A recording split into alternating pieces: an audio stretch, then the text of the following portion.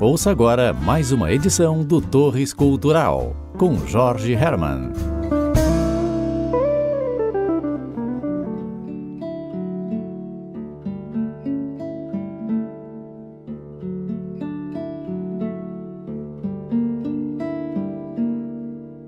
Olá, minha gente, parceiros de caminhada pela cultura da região das Torres. Este, sempre pontual, é o Torres Cultural e esta é a Cultural FM, a parceira de todas as artes. Desde a semana passada, iniciamos mais uma de nossas sempre inacabadas séries, dessa vez sobre a cultura do meio ambiente em Torres. Pelo bem ou pelo mal, sim, podemos falar da cultura do meio ambiente. Porque é pela forma como uma cidade trata sua natureza que podemos identificar a índole de seu povo. As marcas na paisagem indicam com que sabedoria uma população ocupa o ambiente onde escolheu viver. É, porque, obviamente, só com os recursos que o ambiente proporciona essa população será capaz de sobreviver. E mais do que isso, sobreviver com dignidade. Quando uma cidade apaga seus marcos paisagísticos, faz isso para sempre e deixa um buraco na percepção das pessoas. Por isso falo de meio ambiente, pois é da sua saúde que depende a nossa, principalmente a saúde mental.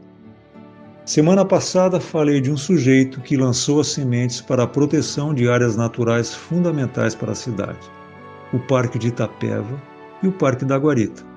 José Lutzenberger, mestre, influência sempre presente na visão de mundo dos que o conheceram pessoalmente e através de sua palavra mas sem os outros nada teria sido possível.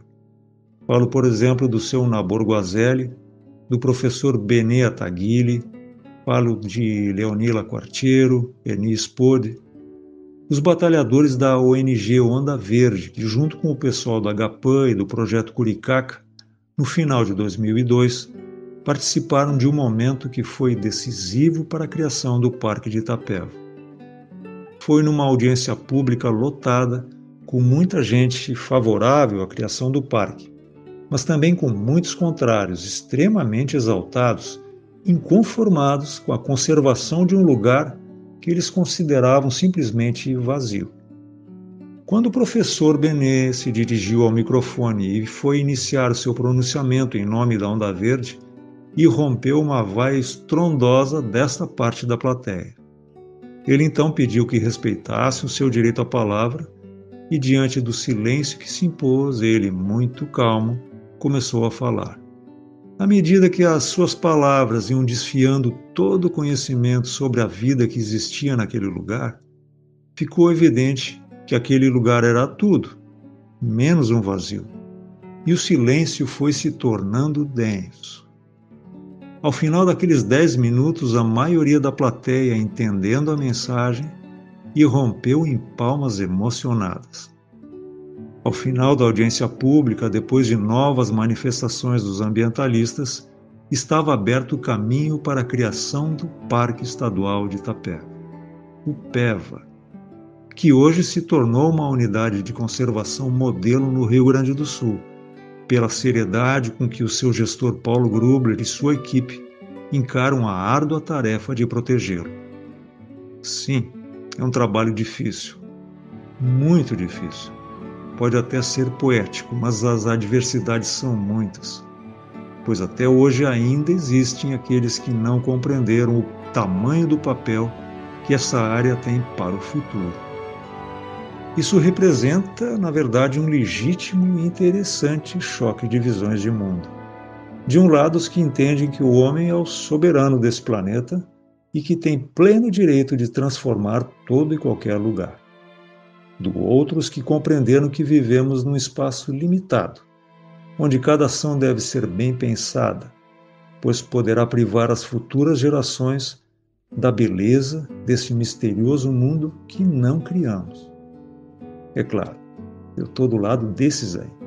Toda vez que olho para as dunas do Peva e vindo pela estrada do mar, deparo com a mancha escura da floresta parudosa emoldurando a cidade ao fundo, sinto que ainda há poesia neste lugar. que Torres não é só feita de torres de basalto, mas também de um mosaico de belos cenários: dunas, campos, butiazais, restingas e florestas, à espera das pessoas que em todo o mundo buscam conhecer os lugares que souberam respeitar a sua identidade. Bueno, o papo pode ser bem longo, mas o tempo é curto e tenho que dar uma parada, confiante de que na semana que vem eu volto cheio de coisas para contar, dessa vez sobre a Ilha dos Lobos. E assim como o Peva, é um tesouro protegido graças a essa gente persistente e indispensável em qualquer lugar. O sujeito que nos acompanha na trilha sonora deste programa foi mais um dos integrantes do grupo Gênesis. É o guitarrista Steve Hackett, acompanhado da The Underworld Orchestra, executando a bela e sugestiva The Vast Life, a vasta vida.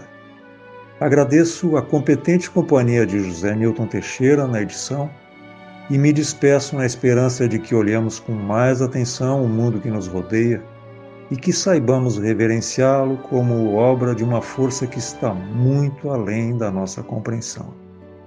E aí vai o meu até logo. Então, até logo!